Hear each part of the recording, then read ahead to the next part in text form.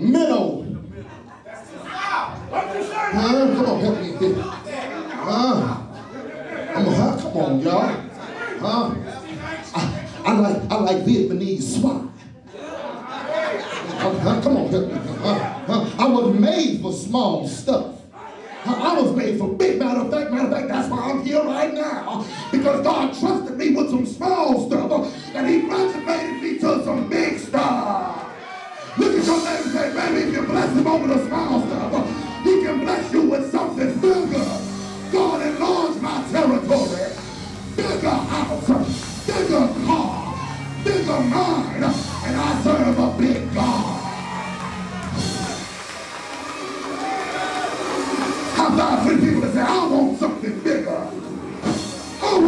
Something bigger. Bigger for my family. Bigger for my church. Bigger for me.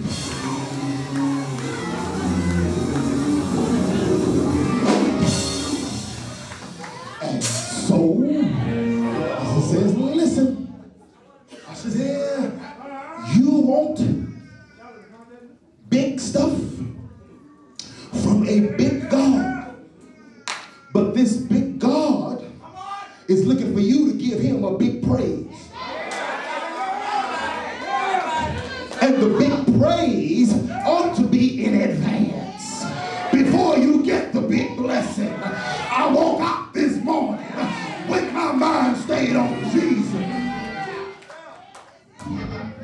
Watch this, watch this, watch this, watch this, watch this, watch this, watch this. We have a lady, we have a, have a, lady, we have a lady. Watch this, watch this. We have a, we have a no-name lady. Can I give you a brief history of text? We have a, we have a no-name lady who's struggling because she's widowed and, and, and, and she owes some folk.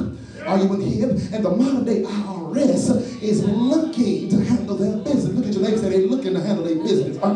Because if you don't pay them, they're going to take what you have. Come on, huh? And nobody in the building wants to be uh, under the helm of the so, and so, and so, and so, they're looking for her. And according to Hebrew law, a creditor could take the debtor and his children as servants so as to pay the debt of the father. Come on, help me in here. But this woman took her cares and her concerns to the man of God. Can I put a pin mark right here and chase this rabbit? You got to know who to go to when you're going through. Because everybody don't have what it takes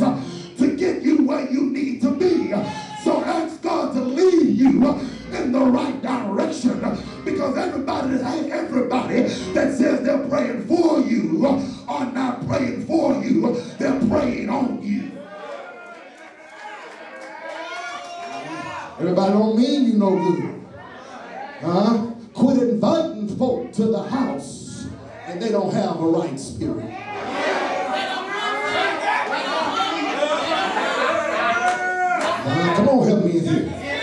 Uh, uh, you, huh? It's in my Bible if you ain't told it. Uh-huh. You try the spirit by the spirit. And if you clown in church, then you'll show up clown at the house. Come on, help me, man. Huh? Come on, talk back to me. today.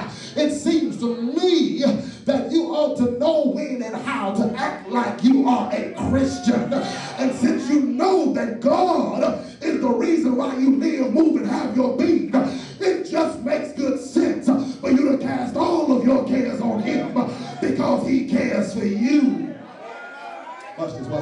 watch this, watch this, watch this. She, she, she took her cares and concerns. We got three points. Took her cares and concerns to the man of God. All she had was a jar of oil. We're going to get out of here. All she had was a jar of oil. It wasn't much, but God don't need much to make a whole lot. Well, yeah, I got quiet right there. That was a good point. Right. I said, don't rewind, play. God don't need much to make a whole lot. All God needs is somebody who's willing to be used. Are you in here? Of folk because I would much rather have five folk who came to give God praise than 500 hellions.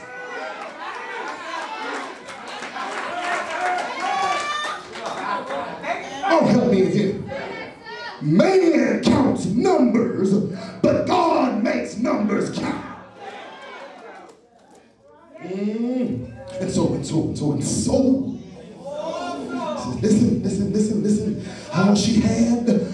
Jar of oil. It wasn't much, But God can take small and make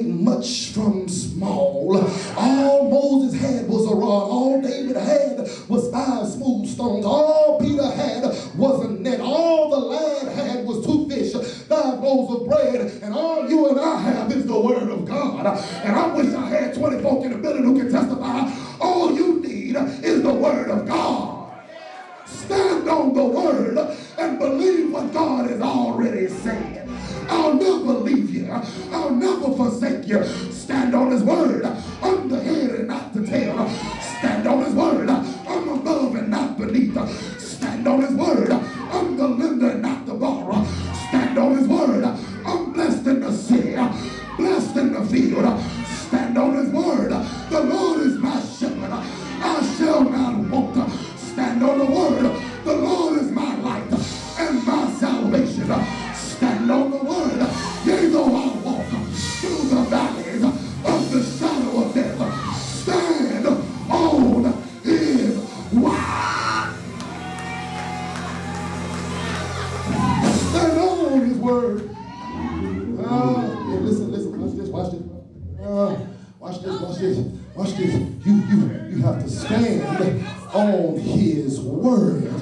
Because folk will try to sway you into what we've already, come on, y'all, and what we're accustomed to always doing.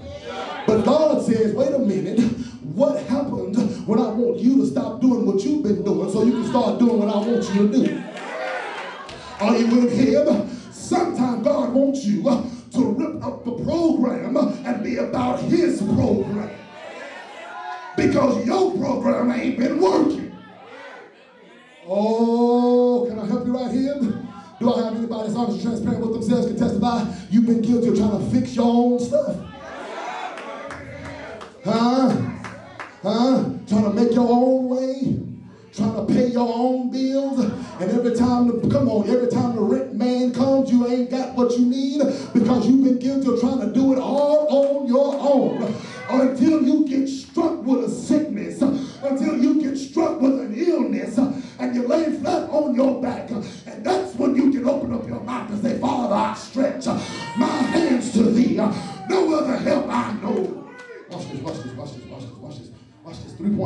points, three points, that are tailor made our spiritual growth and development in order for the Lord to fill you up. There is, there has to be number one. Look at your neighbor and say there has to be inability inability, inability. Her husband is dead. She has no income nor food. She can't go to the local WIC office. She's desolate. She's destitute. She's discouraged she's distressed. She can't pull from for, uh, F, she can't pull from FMLA and 401k. She don't have a 501c3 because the creditors are coming. Are you in here? She's literally unequivocally at the end of her rope. She don't know what to do. She come on, help me. Uh, as a matter of fact, she can't create her own end. But what we do know is that she's faced with a problem that's out of her control. Uh, what do you do when you don't know what to do? When you broke? Anybody ever been broke?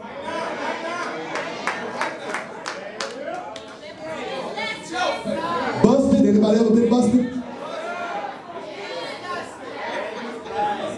Countenance on your face describes disgusted. Come on, help me here, huh? Huh? Your attitude? Huh? Seeks to be nice and you've converted to only being nasty. You ain't gotta like me, I'm gonna preach it. And watch this, and watch this. And the problem is, is that success based on what God is doing for somebody else. How they living, what they doing. But what you don't know is that they five months behind on their rent. Come on, huh? Come on, y'all. What you don't see is that guess what? They're, they're robbing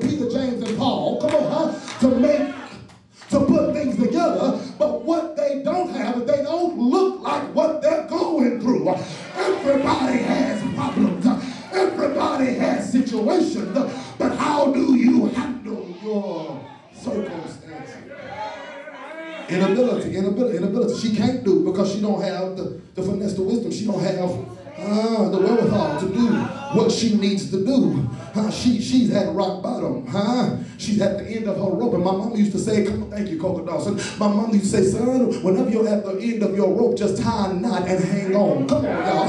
Now, can I put a pin mark right here and change this rabbit? There's a difference between hanging and holding. The difference between hanging on and holding on is that if I'm hanging on, I just might fall. But I'm holding on. Come on, y'all. I'm holding on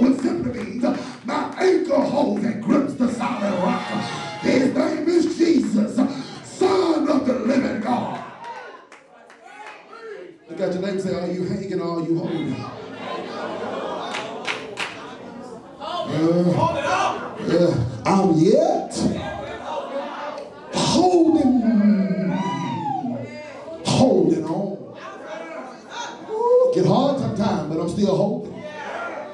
Gets rough sometimes, Shonda Greenwood, but I'm still holding. Out to my last barrel, but I'm still holding. Money is funny, change is strange, but I'm holding on. Because the same God that brought me yesterday can bring me today. So first thing, first thing, first thing there has, there has to be, for God to fill us up, number one, there has to be uh, inability. But number two, not only must there be inability, number two, there must be availability. Look at your neighbor say availability. Uh, watch this, watch this, watch this. Her husband was dead. It looked bad. It looked worse. It looked grim. It looked dark. It looked dreary in her life. As a matter of fact, I'm sure sometimes she uh, uh, woke up and looked out the vestibule of her home and she was wondering when was God going to send some sunshine based off of all the clouds that she sees. Are you in here? Do you have to have inability, but you have to have availability. Look at the text. Look at the text. The book says she was willing to be used. No, watch this. She was faced with a dilemma. She was faced with a crisis and a situation that was beyond her control. And oftentimes, brothers and sisters, that what seems to be out of our control is God's greatest way of letting us know that He's still in control. At your weakest level, at your weakest moment, in your, come on, help me in here, when you're down to your last dime, that God shows up just in the nick of time. Look at your baby and say, baby, God sees you, and God knows exactly where you are. Just hold on. You have, to have, you have to have availability. You have to have availability. You have to have availability. Are you in here? You have to. You have to. You have to be available this. Can I give you a hashtag so you can put it on Facebook? Here it is. Never allow your current crises to cripple your commitment to Christ. Preach, boy. I said, never allow your current crises to cripple your com- your commitment to Christ. Are you in here? In other words, quit letting folk talk you out of the commentary of God. Quit allowing folk to tell you you're not who you think you are just because you're going through what you're going through. Job's friends had that problem, some folk in your family right now who are labeling you and judging you based off of what you see. But what they can't see is that God is getting ready to bless you in front of their face. Oftentimes, our, our crises can cripple us. Huh? Can cripple us. Have us wounded. And we come to church all messed up. Hmm. Crying, on. Ain't nothing wrong with crying. Huh? But understand, I don't cry that long that I fail to give God praise. Because if I'm crying, guess what? The blessing is I'm still alive to cry. You have to learn how to look for reasons to give God praise. And somebody in here, I don't know who I'm talking to, but what I can tell you is that everybody in this building has struggled in particular areas of their life. And my word or my phrase is, you're still alive. Oh, y'all don't know when to shout. I said you're still